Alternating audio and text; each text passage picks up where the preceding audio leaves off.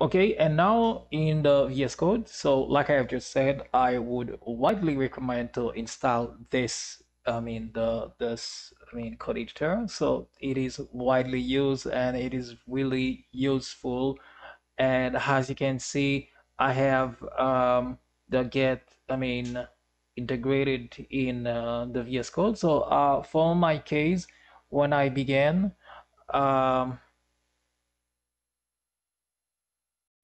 and now in the VS Code so I would widely recommend you guys to install I mean this code editor. So it is a, a very intelligent code editor and um, it has a lot of good features.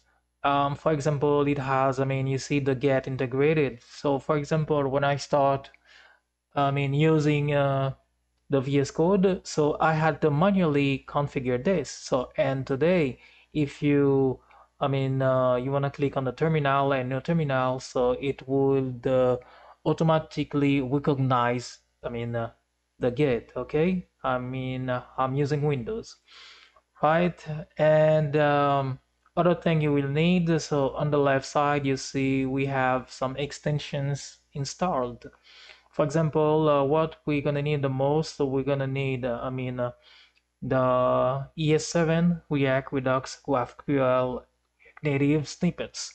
Okay so we're gonna need this. So so you can ignore the others for example VS Code for Warby. okay so and um, that's it guys. So this is um, all what we're gonna need to start with our project. So in the next video we're gonna I mean uh, begin with our backend API and uh, we're gonna create an account in the cloud uh, with MongoDB because as you may know we're gonna use MongoDB to create I mean to save I mean our data.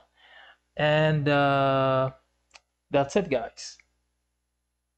So if you like this video please leave a thumbs up. If you have uh, I mean any question please uh, drop it in the comment section and uh, don't forget to invite your friend to the channel so that we can go together.